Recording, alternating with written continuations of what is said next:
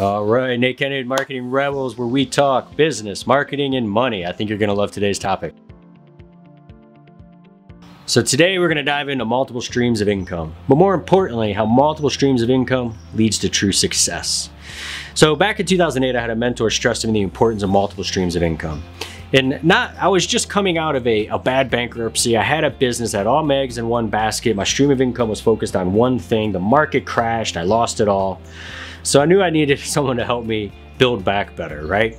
So he started stressing to me about multiple streams of income and it made sense to me and it hit home because I just lost everything because I only had one stream at the time, right?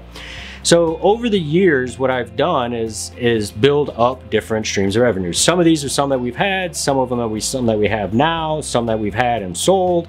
But I wanted to go through some options for you. And then I'll get into why it leads to true success. So a marketing agency. If you got marketing chops and you know how to market a business, that's a great opportunity. A media company, which is another one of my favorite streams of income. It's actually, I would have to say, one of our core streams of income as well. And I'll talk about what I mean by core stream of income in a second. Affiliate revenue is another great way to generate revenue. So if you've got a list of people and you've got an audience and they they buy certain products, you can go ahead and send another person's product to your audience and they'll pay you coaching consulting revenue maybe you got a great skill set maybe maybe you've mastered something that you can help somebody else master as well. People are willing to pay for it. Now these things kind of involve your time but there's also mastermind revenue. Maybe you want to create and curate a group of amazing people. That's a revenue stream. So like the ones i'm referencing now a lot of them you work for right? Now this one i'm going to mention is a walmart ecom partnership so some things that we do is in Walmart Ecom. And we have a partnership that we work with people on that allows them to make truly passive income as an income stream. So if there's there's also Amazon FBA where you create a product, you sell it on Amazon. You could do supplements. You could have lead revenue where you sell leads to people or some call it pay per lead. You could have real estate income you could have wholesaling income, you could have rental income, you could have commercial income. There's all different things you could do. Business partnerships is another great way to create income. Now, I want to stress that though on the business partnerships, they don't mean, it doesn't mean that you go create 10 partnerships and you do all the work. That's never going to work. The incomes are never going to take off and really strive. Then there's software is another good opportunity to create revenue. Maybe you've got a company, a marketing agency, and you want to create some additional revenue. Is there software you can provide uh, your audience and your people and your industry that could create revenue for you? Now, this does, and I want to stress this again. I just kind of mentioned, but I want to stress it again. This does not mean that you need to work full time on all these it, all these income streams. So keep in mind the who, not the how. If you keep that phrase in mind, that'll help you build income streams because then you start looking for who can help you build them as opposed to how you have to build them and you doing all the work.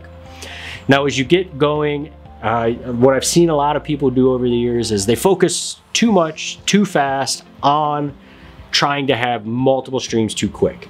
You got to get your core money maker in place. You got to have it, right?